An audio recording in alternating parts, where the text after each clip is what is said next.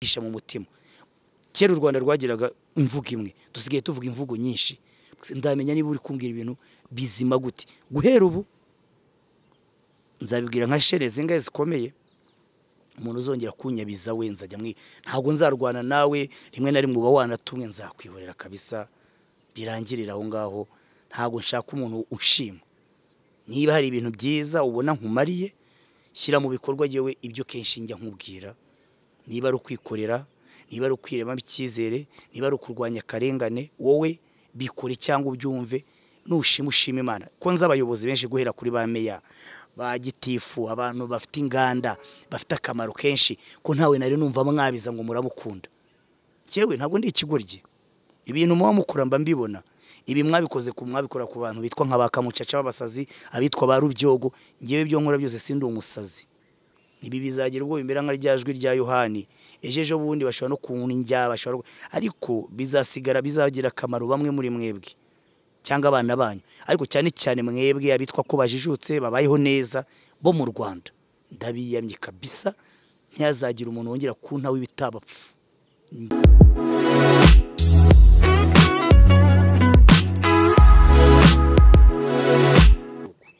ariko hari abandi nakwereka bateje ibibazo. Rwose ugiye muri raporo y'umuvunyi wabiburamo ugiye muri raporo ya taransiparensi wabura abantu bateza abandi ibibazo abo bagomba guhanwa yuko bari gutuma abantu biyahura ndetse indiregitiri ngibyo ibyo ugiye mu bintu mbibona. Yesi ni iki cyakorwa? Agiye buri gihe nkunda kuvuga nuko nta n'ikintu cyakorwa erega. Ni ukubifata gutyo. Igihe ibi bintu nabivuze hakiri kare ndavuga ni ibintu uko mbibona abantu bamwe abafite ubwoba bazigira mu kurokoka. Abandi bazasara. Bya niko kenshi bikunda kumera. Nyine iyo ibibazo bikurenze. Urumva niba abantu bari mu bantu ba mbere batishimye amaherezo azaba yayo abantu bazasara abantu bazarokoka kandi n'icyo na cyo ni ukwiyahura. Kujya kwiyahurira amasengesho ukirirwa uryamye wicisha inzara. Kuko nako ni ukwiyahura? Reka kwiyahura ni byinshi nuko buri muntu hari n'abiyahuza igitsina.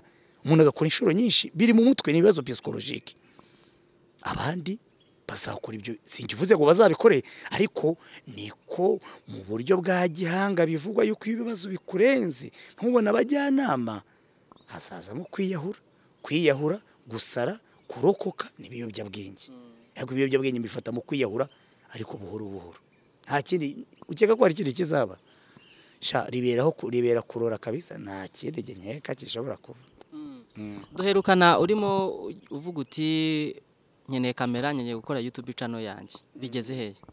Yutube cano ntibajye kuri karasira emabure bakore sabusikarayibu bakore layike ikiriho cyo ni uko abantu baramfashije ariko bamfashije mu mushinga muremure izi nyangabirama zitambangamiye wakomeza nyangabirama mvuga bazumva indirimbo ya KGB ntibayita ibiremwa by'umwijima.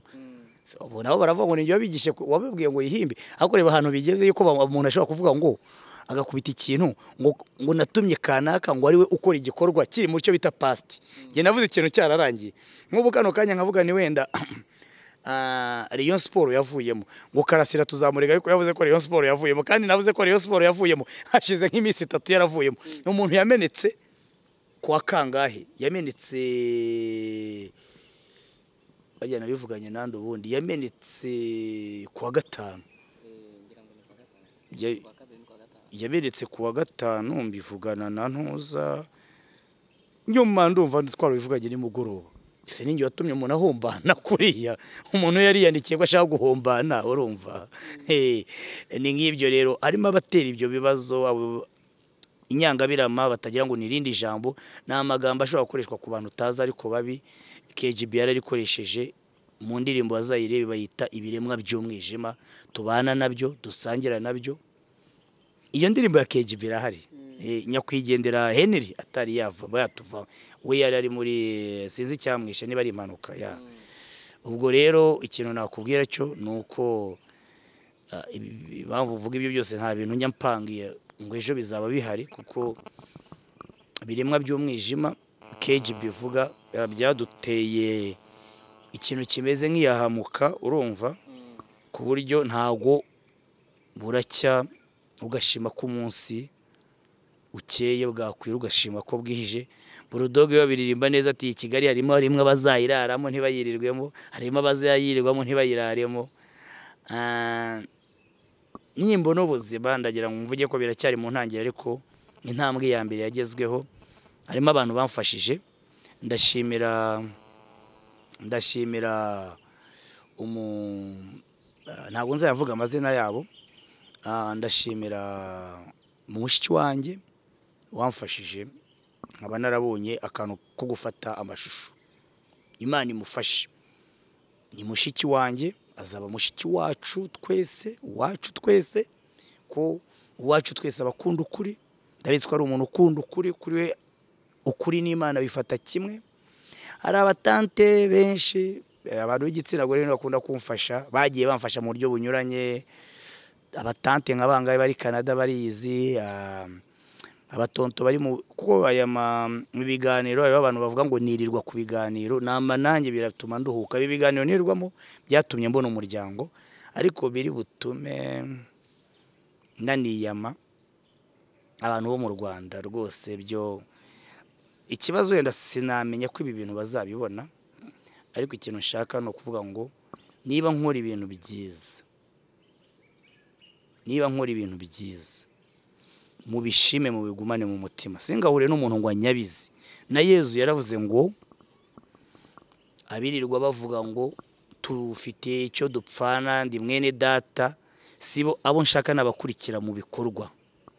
Rwose ndakwiyamye wowe uwo ari we wese duhura ngo uranshyigikiye uri mu rwanda nta kintu kuvuga ko unshyigikiye nzi icyo ushaka gusobanura. Nta muntu wanshyigikira ari mu rwanda. Rwose ibyo wanshyigikira kuri watsapu mu ibanga ariko abenshi muri n'abantu bajijutse. Ukajya muri banki manager waho umuki uranshyigikira mu buhe buryo wowe? Imitekerereze yanyu ndayizi. Urumva nta kintu wanshyigikiramo rero. Nta nkunga wampaye urumva bavuga ngo babyita kunyega n'ironi uravuga ngo uriya yarasaze mbabizi ibyo muba muri kuvuga. Cyangwa burudoge ni we ubivuga neza. Ati ndeke nde nizere nde ko bose bavuga kimwe. Urumva? Ni ukuvuga ngo ibirura n'intama mwese muri kimwe. Mufite murabihisha mu mutima. Kera u rwanda rwagiraga imvugo imwe. Dusigaye tuvuga imvugo nyinshi. Ndamenya niba uri kumbwira ibintu bizima gute. Guhera ubu nzabibwira nka shere zingahe zikomeye? Umuntu uzongera kunyabiza we nzajya mwi ntabwo nzarwana nawe rimwe na rimwe uba wanatumwe nzakwihorera kabisa birangirira aho ngaho ntabwo nshaka umuntu ushima. Niba hari ibintu byiza ubona nkumariye shyira mu bikorwa yewe ibyo kenshi njya nkubwira. Niba ari ukwikorera niba ari ukwiremamo icyizere niba ari ukurwanya akarengane wowe bikore cyangwa ubyumve nushima ushima imana. Ko nzi abayobozi benshi guhera kuri ba meya ba gitifu abantu bafite inganda bafite akamaro kenshi ko ntawe nari numva mwabiza ngo muramukunda. Yewe ntabwo ndi ikigoryi. Ibintu muba mukora mba mbibona. Ibi mwabikoze ku mwabikora ku bantu bitwa nka ba kamucaca b'abasazi abitwa ba rubyogo ngewe ibyo nkora byose sindi umusazi. Ibi bizagira ubwo bimera nka rya jwi rya yohani. Ejo ejo bundi bashobora no kunjya bashobora ariko bizasigara bizagira akamaro bamwe muri mwebwe. Cyangwa abana banyu. Ariko cyane cyane mwebwe abitwa ko bajijutse babayeho neza bo mu rwanda. Ndabiyamye kabisa ntihazagire umuntu wongera kuntaho ibitabapfu. Ngita ibitabapfu. Ko kuza kunyega mbona icyo utekereza ntabwo mbikunda. Abantu bo bo hanze bamfashije. Mwese ndabashimira. Abantu nanone ba hano tuvugana kuri watsapu ndabashimira. Bagera mu ijana na mirongo irindwi na bitavuga ko harimo abumviriza. Nabo nabahaye karibu. Abumviriza nagereranya yuko buriya baba ari kimwe cya kabiri mu rwanda iyo muri babiri abarimo uri kumviriza abumviriza nabo muri mu bwo navuga ko dufite nk'abantu ijana mu rwanda b'inshuti. Sibyo nyabo b'inshuti. Harimo abantu bampaye ibihumbi buri muntu bitanu bane harimo n'umuntu dukorana umwe. Hari n'undi umenya wanyohereje uyu munsi bitanu mwarakoze harimo n'abampa ibitekerezo. Ariko abantu vurema bo hanze diaspora match respect. Kugeza na n'ubu. Ni namwe mu inama kuri whatsapp harimo abatantine abatante bashiki banjye ba- ariko aba hano bo biragoye kwemera ikintu muvuga. Niba munankunda mubigumisha umutima ku ndabizi si ubundi mwankunda munkunda mwiki? Ni gute wakunda umuntu uri public enemy? Umuntu w'igicibwa. Ntabwo bishoboka. Uba uri kumuryarya. Ejo kuri banki nyurayo hano mu mijyi ibimodoka bigahagaragara ngo komera komera. Nkomere nkomere iki? Nkomere nta kintu mumariye. Urumva? Muba muri kundya ngo dore wa muntu wataye umutwe. Mumeze neza ko ejo bundi muzagenda muhananuka kuko hari ibintu binanshimisha. Ubona umuntu wiyemeraga gutyo nawe ejo bundi yabaye pumbafu.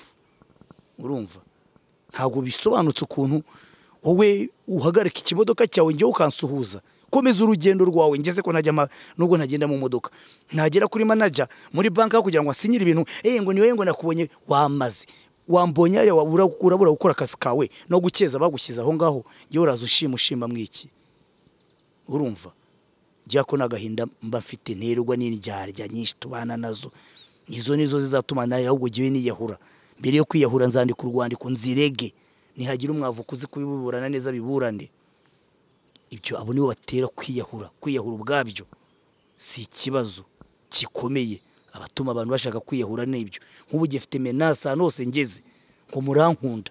Kandi ko nta muntu wakunda umuntu ukiritikana mu rwanda se munkunda mwiki uretse kundyarya kugira ubwo n'abantu bashinzwe inzego z'umutekano umutipe ugakubitana n'umupolisi ngo aragukunda umupolisi wankunda mwiki kabisa.